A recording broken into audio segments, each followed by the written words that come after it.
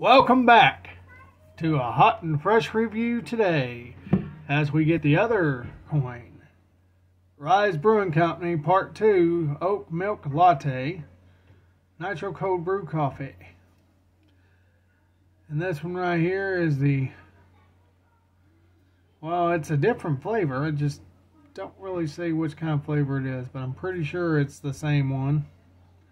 A little bit different. I think that one was mocha. This one might be something else. Not sure.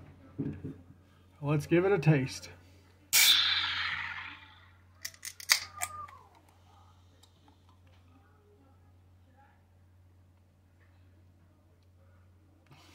Oh yeah, that one's definitely more oat milk than it's got plant powered, nitro powered, and refreshing power.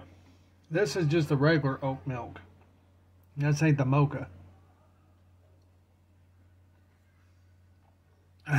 Gotta say, this one right here, it's more of a bitter coffee, but it's not bad. Gotta give it a 7-8 at least, man. This is some good stuff from Rise.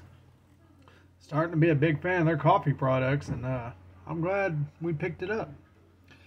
If you want to see more videos like this and even more and more and more and more and more, you just stay right here to Hot Fresh Reviews and we'll have we'll start pumping them and chiming them out, man. As always, like, subscribe, and I'll catch you on the flip side.